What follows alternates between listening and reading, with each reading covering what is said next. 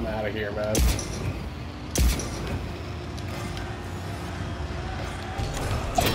Holy shit! Oh, send it to Kotaku, bitch!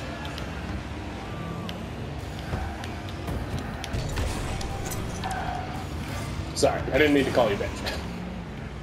I meant that in the general term, bitch.